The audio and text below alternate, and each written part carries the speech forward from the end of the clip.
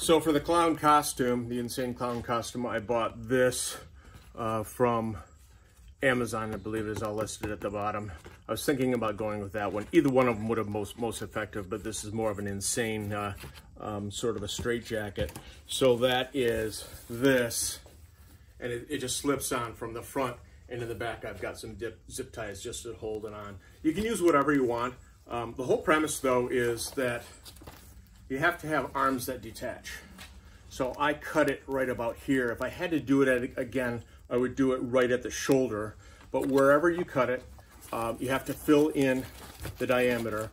And I use probably a piece of four inch uh, closed cell foam, a high density foam. You can use styrofoam, whatever you want, as long as you can screw adhere a magnet.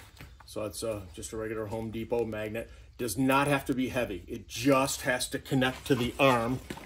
Um, I did the same thing on the arm here, the piece of uh, styrofoam and I screwed in just a metal plate. So the magnet just grabs the metal plate. It's pulling out a little bit here, but make sure it adheres and it just has to pull apart. Uh, I was thinking of experimenting with many, experimenting with a little bit of uh, Velcro, which could have easily uh, been done.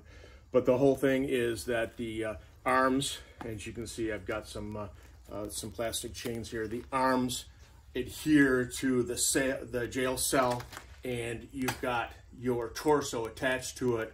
And after you electrocute yourself and then people are just wondering what the heck's going on you just pull right off like in the video.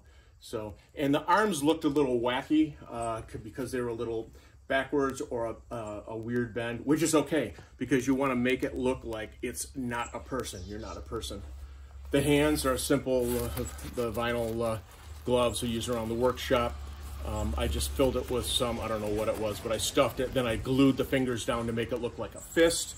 Um, and again, it looks fake, and it should. Uh, you want it to look fake.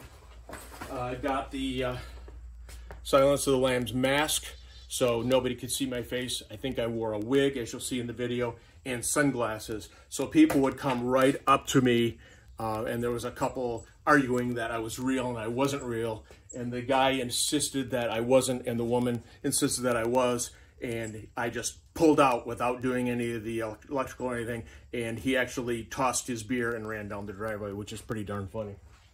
Um,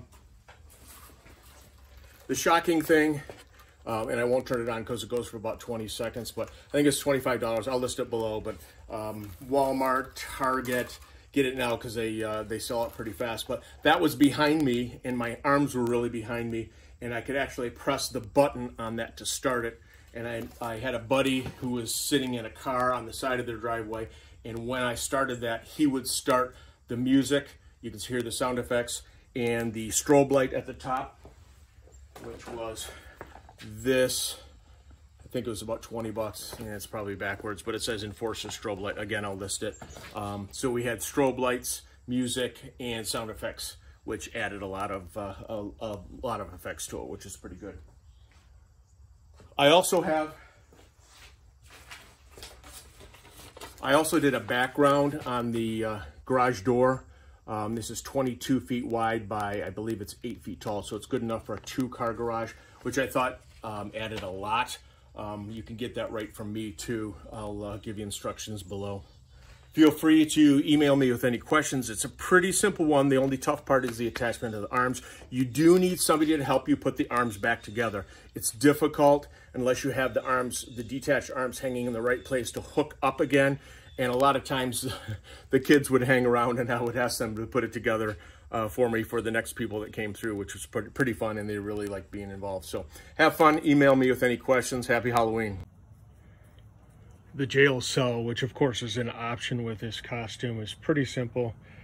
I've got a uh, two by four base here and I think it's uh, four feet wide. You can make it six or eight or whatever you want. So the base here is two by four.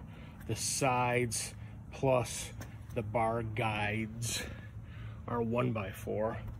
I happen to have this seven feet long. Not sure why I did it that way, but so I've got a one by four on this side, one by four on the other side, and then one by fours here, here, here, and then one across the top. The bars are a one inch PVC, As you can see, I drilled holes through the guides and through the top. And then at the bottom, I didn't drill all the way through, but just drilled enough so the bars would stick in them to hold so they wouldn't lag back and forth. So I did that, and then I did, I think, a three foot one to go um, sideways. You'll see on the video and on the photo that it's really two pieces of that, but pretty cheap, uh, pretty easy to build as long as you got a drill, hammer, and nails. And then, of course, I just spray painted everything silver.